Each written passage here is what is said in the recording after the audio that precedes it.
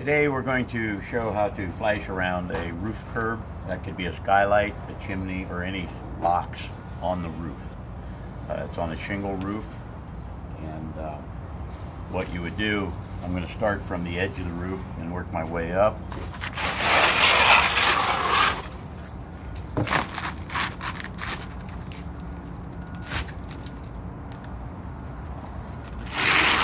Get up to the curb, you'll cut your shingle out to fit around the curb and it'll fit your pattern.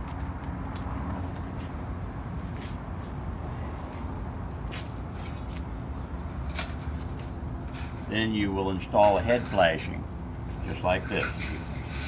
Cut so it comes out at the ends.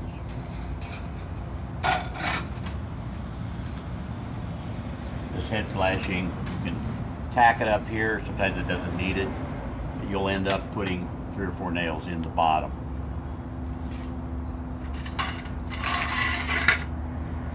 Then you will take a tin shingle, cut it at an angle, and that'll be your first tin shingle. The angle will start here and come out. Next shingle will go in, keeping your pattern. Then you put another tin shingle, overlap an inch or more. Your next shingle.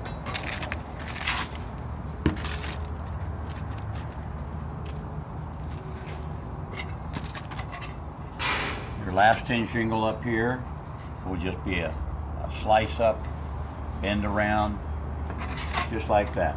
Simple. I'm going to put an extra piece in here because we would normally continue our shingles going out here. And I'll put a piece here so I can show what we're going to do up here.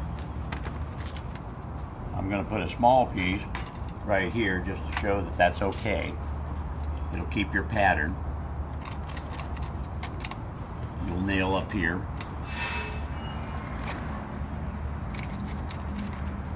Now we still got our pattern. And we put one more before the saddle goes on.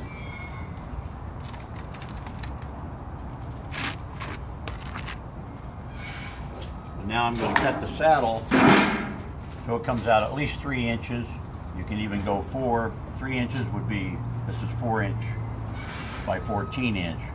So a 45 degree angle would, would be cut just like that you want to come out a little further, you just cut a, a lesser angle. The entire angle is on the outside on both sides.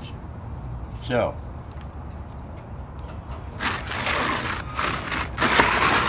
your next shingle will come across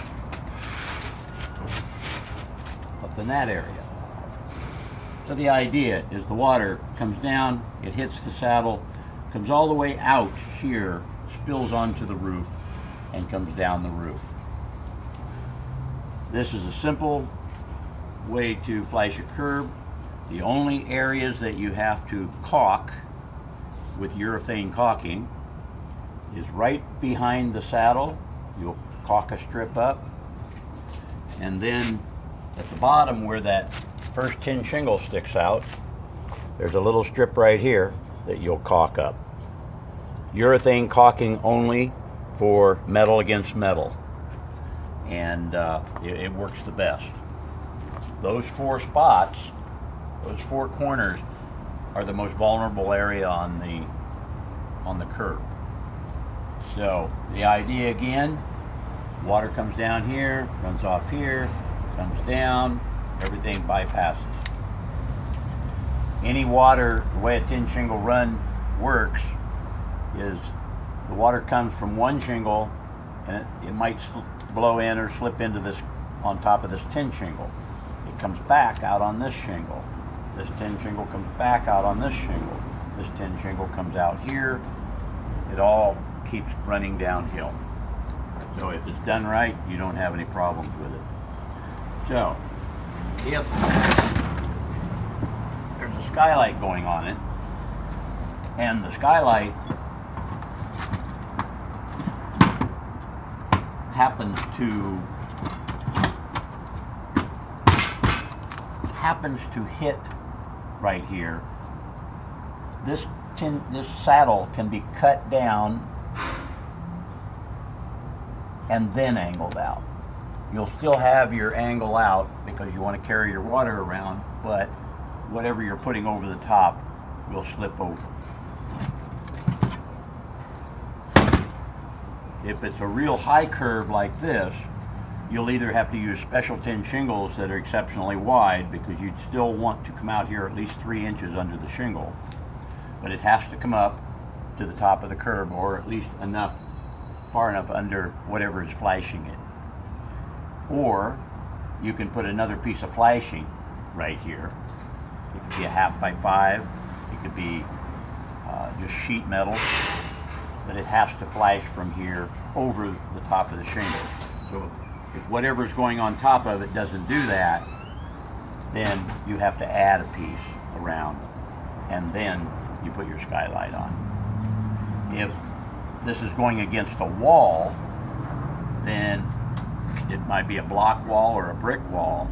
You would cut a groove in the in the uh, next joint up in your block or brick and you will install a half by five in that groove to counter flash and then you will caulk the top of the half by five with Vulkem uh, or urethane caulking.